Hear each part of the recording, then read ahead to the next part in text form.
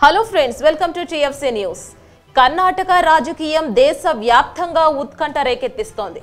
ఏ పార్టీకి మెజారిటీ రాకుండా హంగ్ ఏర్పడడంతో ప్రభుత్వ ఏర్పాటుపై గవర్నర్ ఎవరిని పిలుస్తారో అని సర్వత్రా ఆసక్తి నెలకొని ఉంది. ఈ నేపథ్యంలో కాంగ్రెస్ జేడీఎస్ క్యాంపు రాజకీయాలకు తెరలేపాయి. రిసార్ట్స్ హోటల్స్లో రూమ్స్ బుకింగ్స్ చేసి ఎమ్మెల్యేలను కాపాడుకునేందుకు తీవ్రంగా ప్రయత్నిస్తున్నాయి. ఇక తమకు అవసరమైన ఆన్ ఎనిమిది మంది ఎమ్మెల్యేలను తమ వైపు తిప్పుకునేందుకు బీజేపీ అన్ని రకాల ప్రయత్నాలు చేస్తోంది.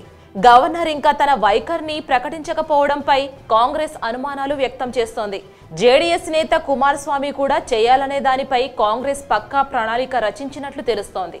ఆ పార్టీ రెండు విధాలుగా తమ అభ్యంతరాన్ని వ్యక్తం చేసేందుకు సిద్ధమైంది. ప్రభుత్వ ఏర్పాటుకు యడ్యూరప్పను గవర్నర్ ఆహ్వానిస్తే రాష్ట్రపతిని కలవాలని కాంగ్రెస్ భావిస్తున్నట్లు టాక్. అలాగే రాష్ట్రపతి ఎదుటే ఎమ్మెల్యేలతో బల ప్రదర్శన నిర్వహించాలని కూడా కాంగ్రెస్ ఆలోచనలుగా చెబుతున్నారు. అలా కుదరని పక్షంలో సుప్రీంకోర్టుకు వెళ్ళి న్యాయ పోరాటానికి దిగాలని కూడా భావిస్తున్నట్లు తెలుస్తోంది. మరి గవర్నర్ ఎలాంటి నిర్ణయం తీసుకుంటాడో చూడాలి.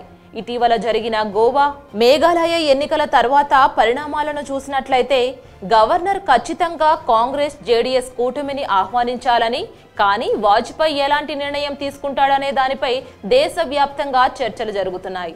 మరిన్ని ఇంట్రెస్టింగ్ అప్డేట్స్ కోసం please like share comment and subscribe to FC news